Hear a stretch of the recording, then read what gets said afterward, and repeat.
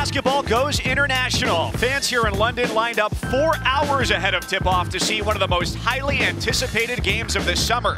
It's the overseas debut of Bronny James, a rising senior, and his younger brother Bryce. Their last name precedes them on the court. It's game one of a European whirlwind tour. Bronny James had a phenomenal summer circuit. He's fundamentally sound, a high basketball IQ, a good decision maker versus a risk taker. He's made 38% of his spot up threes according to Synergy Sports. He can influence the game also without scoring. He's a great teammate. The next step for Bronny is his leadership abilities. And that goes along with his multitudinous talents on the court. And watch Bronny, the basketball IQ, the ability to make the setup cut, utilize the screen, and as I mentioned, 38% on the catch and shoot. He makes it wet from deep. A willing defender with good lateral quickness. Takes, taking charges on his own man, but this is what he needs to do more of. Find the open pocket of space, get inside to the mid-range game, utilize the pull-up jump shot. As the air ball is put up there by Quinn Ellis. CBC on the run. Under the bucket, the finish is good on the reverse lay-in from Jimmy Oladipo. Group that has not played together very much. Bell on the drive, finds his way to the left side of the bucket and puts it in. Hoops Fix. No good for Sultan Adewale, who plays at Neumann-Goretti High School in Philadelphia. James drives, he's fouled and finishes.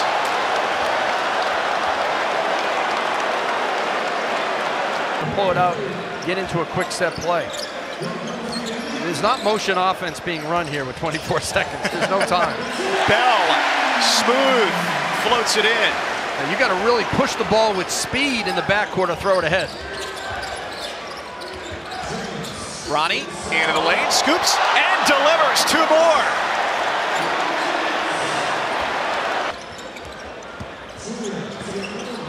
Bell from the corner, had the shot if he wanted it. Draws multiple defenders, kick out Ben Brown. Rattles it home, that's a three-pointer. Have the willingness to make it happen. As you can see, it provides a very entertaining game. Contact at the rim, the finish by Sultan Adewale.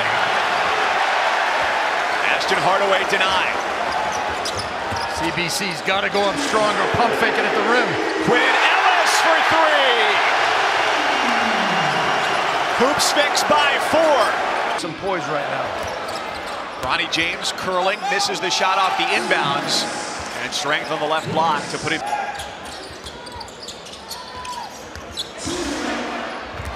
Chua falls to the deck, collects two points as he hits the floor. Advantage over Hoops Fix, a team that has been together just this week. Oladipo with a spin to the basket, and he goes right through the chest of Brandon Chua for the layup. But so he hasn't got a lot of game time. This is great for him to improve and grow. Ellis, even with a hand in his face from Pippen, knocks down the free throw line Jay. Christian Hardaway getting his first minutes this evening. Pippen's cross lane pass intercepted. CBC takes it right back. And after a near giveaway, that's two points at the rim for the California Basketball Club. Sprints back and he gets the block. Multiple efforts by the big fella. Not only the height at 6'10", but the agility as well. And a seven-foot wingspan to go with it. Close out on the reserve point guard on Hoops Fix.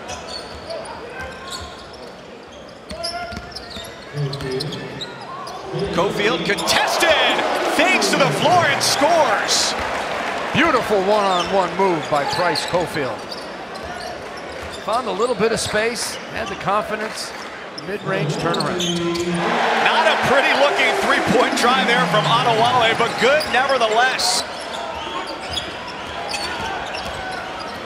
All the way to the basket, nobody gets in front of Majok Chol.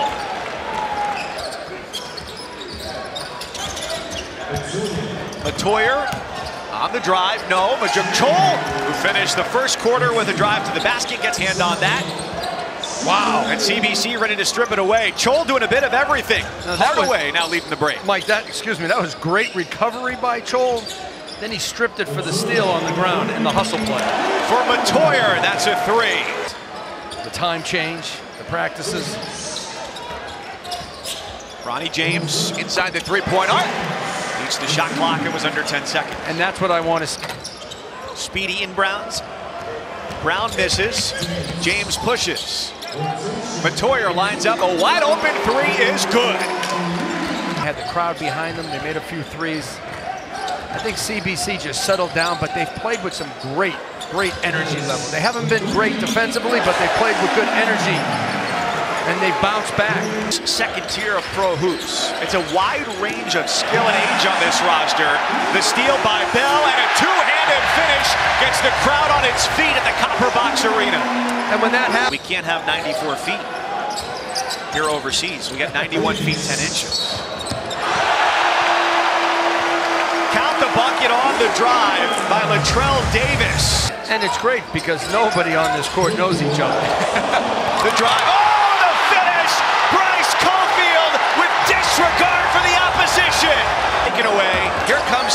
CBC again. It's Bronny through two defenders.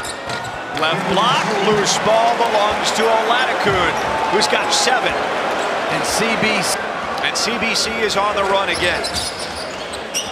Bronny gets two. In transition, they're just finding each other. But I love.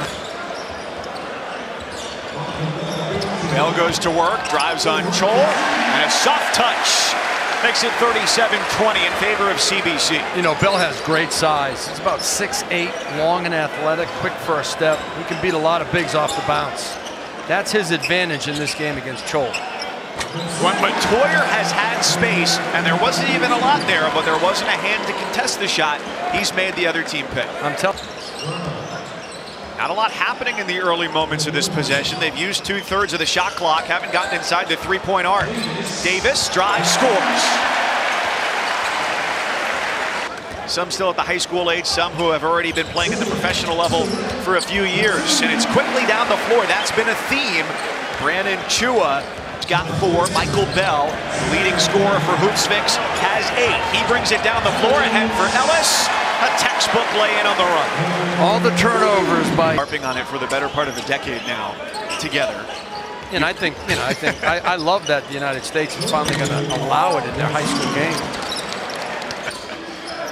Out of the timeout, it's a zone defense look here from Hoopsfix. They made the right move, CBC. They put CBC along with Dylan Matoyer, who's also got nine. Long two and a tumble to the floor. It's 44-42.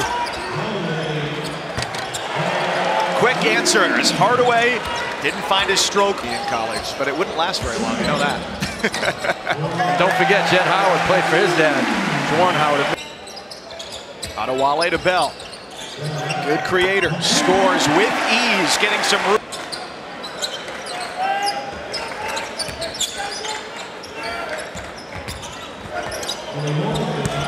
That's a strong take there from Sultan Adewale, who's got several high major offers. well, happy birthday, Paul. It's, uh, it's a, been a pleasure of mine for now more than half a decade to call you my partner. Thank you, Mike. 21,900 days cross seas and down to the Caribbean or sometimes to Canada to play. So when the game can take you to different countries and continents, it's special. The long arms of Majok Chol turn him away.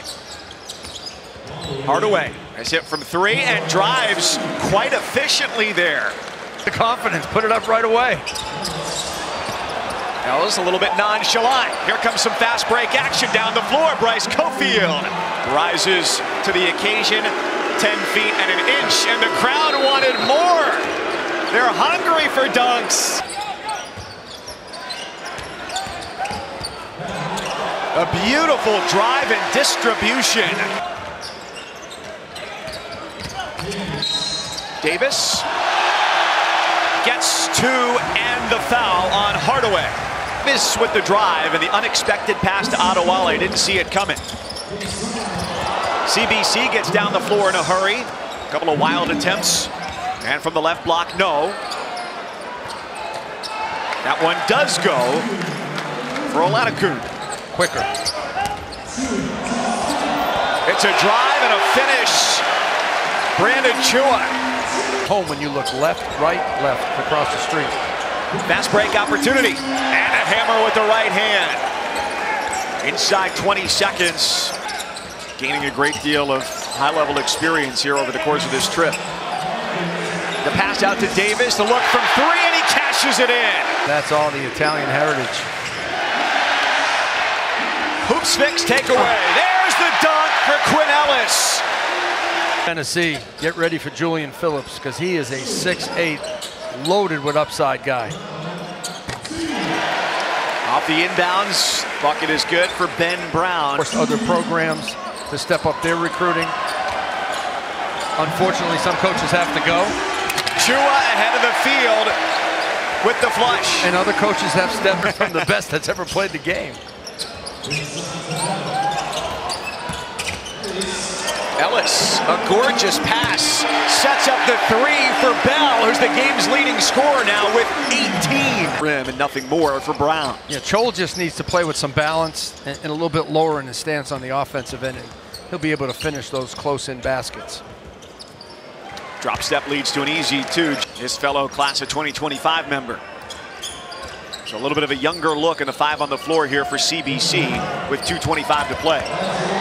Chol gets it, fakes it, scores it. He has really impressed today. Um, as well, the rising senior at the guard position for California Basketball Club. Jaden Alexander with a pleasant floating path to the basket. Just running a little simple ball screen continuity. Keep it simple. James to the rim glass. It's 76-72, a minute 14 to go. 0 for 2 at the stripe. Kane on the putback try, missed it. Fast break, foul, and the bucket is Quinn Ellis. Put the accelerator to the floor and delivered. All learning experiences that will make this, this group better when they play in Paris on August 15th on ESPN2. Professional basketball in Italy and France, and you can see why. Three triple-digit scores today as well for CBC, led by Jimmy Oladokun with 12. Bronny James had 11, and Majok Chol 11 as well in an 81-74 game that belongs to Hoops Fix Elite. Really impressed with Bryce Cofield. We didn't mention him enough. He had that sensational Sports Center top 10 dunk. He gave them some strong points. I thought he was a catalyst in many ways. You know, Bronny had a really solid game. Majok Chol as well, I thought defensively was outstanding. For a team that's only had a few practices and a shoot around, uh, they were impressive tonight, even in a loss.